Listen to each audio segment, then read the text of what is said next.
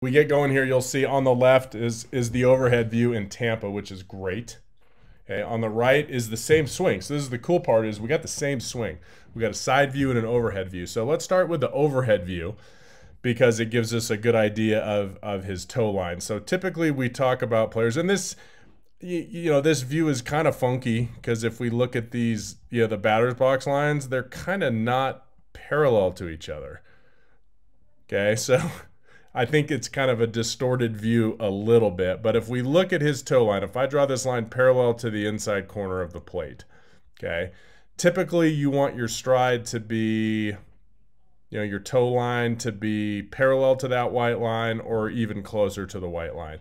If we look at him and I play this through, you can see how far to the left his toe line ends up. Okay, that's a lot. Now, what does this look? He looks like a golfer in this position. His hands are way behind his body, which is not the normal. Okay, even players that don't open their stance, typically their hands are going to be more behind their head in a straight line behind their head, not behind like the middle of his back.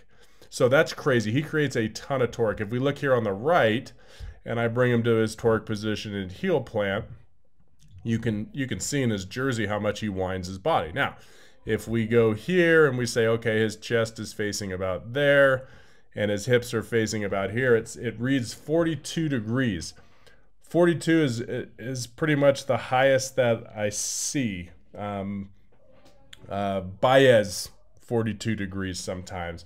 Donaldson 42 degrees. Okay, this is a lot. Most players are 30 to 40. Like um, we looked, did we look at um,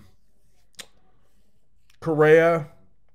I can't believe. We, did we do we a? have not looked. We have not done one yet. We could in the new year, but we've done Harper.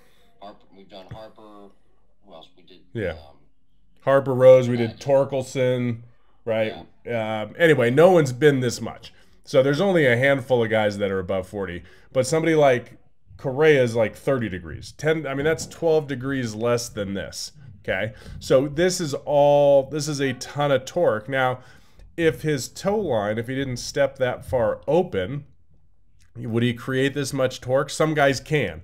Because torque is not about your feet, it's about your hip line. So a lot of guys that have, you know, good hips that can create 40 degrees of torque without stepping in the bucket, so to speak, without stepping left. Now, maybe he has mobility issues, maybe he has flexibility issues that don't allow him to do that, and this is his way of doing that. So if you're a pitcher, you're like, I'm just going to throw the ball here, right? I'm going to throw it on the outside third of the plate, quarter of the plate. I'll, you know, there's no way he's going to be able to cover this. And what does he do? This pitch obviously is a mistake, and it ends up right down the middle. It's actually middle in, mm-hmm. and he crushes it towards center field. and it comes back to the the, the you know the, the conversations we've had about pitchers aren't perfect. Because really, you're getting. I mean, here's the end of his bat right here. Like the end of his bat isn't even covering that outside pitch. Now, on outside pitches, he'll let his hands go away from him more to try to cover it. But I mean, this is a pitch. This is like the worst place you could possibly throw him as a pitcher is one ball in. You know, let's see how high it is. If we look at the other swing on the right, yeah, it's at the thighs. So not only is it somewhat in, he he's somewhat deep on it. He hits it, you know, at his front knee. That's why he hit it towards center field, right? He didn't he didn't pull this ball is because he was kind of late on a pitch that was, you know, middle in. But if you look at the rest of the swing, so if we look at the right here and we really break this thing down, he gets to a great torque position. We talk about where your hands should be at launch. So at heel plant, the top of his top hand's about his ear, bottom of his ear, at his cheek. As he goes to rotate, let's see what his head does. So we'll draw that line on top of his head and in front of his helmet. You can see doesn't move much. no, it moves late. So, you know, as he rotates, he really rotates back behind it. Probably because he was he was late on this fastball that was, you know, right down the middle. And if we look at his swing plane, so let's let's check this out. So we can see we're going to be able to see why he why he struggles in the average department. Okay, so we're looking at his swing on the on the right, his his side side view. If I draw a line on this pitch coming in, it looks like it's coming in at about four or five degrees. Okay, but if we look at his barrel, his barrel, you know, when it's over his back calf, it's below that green line. I'm gonna I'm just drawing these circles right where the barrel is so you can see he's underneath. Now he's starting to come back to that line. He hits this one about perfect. Okay, and now his barrel's starting to move up a little bit. More than the pitch. Okay, so does, you know, what this leads to is, well, he's under. If he's under back here, he's going to consistently hit the bottom of the ball when he's late or miss it. So he fouls off a lot of good pitches. The problem is if he's early, and this isn't that early, but if he hits it out here by his front foot, he's actually over that line. So he's going to topspin balls to the pull side.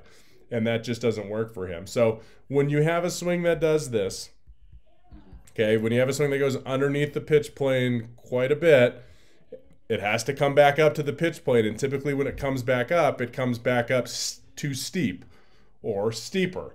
So, what you'll have is a guy that hits a lot of home runs to center and right center. And when he hits balls out in front, he's probably going to top them. Now, not all the time, but that's going to be. I bet if we pulled up a spray chart with Khris Davis, we should probably do that actually um, to see where his home runs. I bet a lot of them were towards center and and right field because that's where his barrel is on plane, right about at his front knee. It's not on plane at his front toes. So if we watch this one, we'll finish up here on the on the left. We'll we'll look at this ball, you know, the overhead view. Notice where this pitch was in and because he hit it so deep, he actually hit it towards right center field. Okay, you can see that ball leave towards right center field. And that is kind of his swing. He hits the ball deep in the zone. He gets those hips wide open, but he keeps his hands back. He hits it deep in the zone, and that's why on pitches outside, he can cover it. So the only, you know, going back to how he's not good out in front, he's not good out in front probably because his front foot steps out. So that as that foot steps out, he's going to get further away from the plate. As you hit the ball out in front, his barrel is going to work towards his front foot, right? It's going to work to the left. And so what that means is if he's going to be successful, he's got to hit the ball deep in the zone, and he's got to, um, you know, make sure he's far enough away from the plate to hit it that deep in the zone, and he's going to have good power to center and right center field there's one thing that I, am looking up his spray chart right now. Um, I looked it up on baseballsavant.com while you were talking there, and uh, all of his home runs they go to all fields. Yeah, I mean it's really evenly distributed. Uh, maybe not so much to center, but definitely left pole to pole, left left field to right field, left center to right center. So, and this was in 2018. I didn't count the last two years. 2019 only 23 home runs. Last year, shortened season. 2018 when he had that career year. Yeah, is what I pulled up here, spray chart wise, and, and he hits balls to all field. He hits for power. He has. You can argue that he had in that time period from what 2015 to 18, he had maybe his scouts would say 80 power because he hits balls to all field. I would agree with that. Right down the middle, maybe slightly